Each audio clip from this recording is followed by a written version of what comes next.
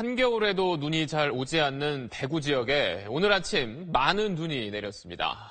때 아닌 3월 폭설에 출근길 교통사고가 이어졌고 피해도 잇따랐습니다. TBC 서은진 기자가 취재했습니다. 흰색 승용차가 버스 세대와 추돌한 뒤 중앙 분리대를 들이받고 섰습니다.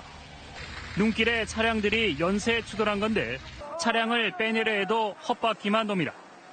옆에 있는 차를 칠까 싶어서 운행도 안 될 분들은 걸림이 많으니까 대구 시내 주요 간선도로와 주요 교차로 등은 정체거리가 늘어지면서 일대 교통이 마비되는 등 출근길 교통 대란이 빚어졌습니다.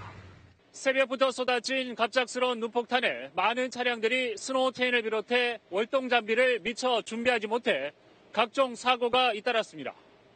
폭설로 발이 묶이자 일부 시민들은 급한 마음에 차를 버리고 도시철도를 타거나 걸어서 직장이나 학교로 향했습니다. 차 가지고 나오다가 세워놓고 그냥 대중교통 이용하려고 내려왔습니다.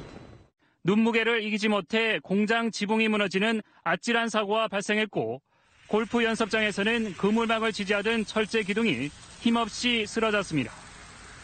경북 곳곳에서는 비닐하우스가 무너지거나 찢겨 출하를 앞둔 농작물이 피해를 입었습니다.